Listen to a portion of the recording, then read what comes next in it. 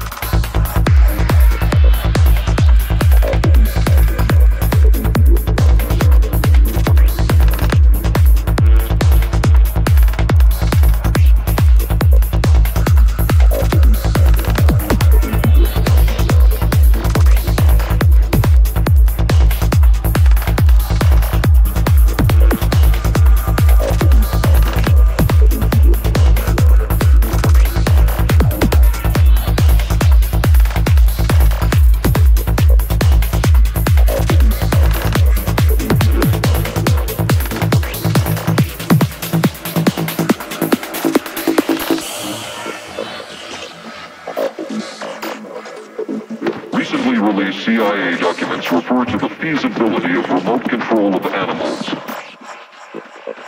and that special investigations will be conducted toward the application of selected elements of these techniques to man. Other areas were examined through the 60s and 70s. Brain surgery, psychosurgery, creation of amnesia, parapsychology, manipulation of genes. Even though past and present CIA officials have indicated this kind of work ended in 1963.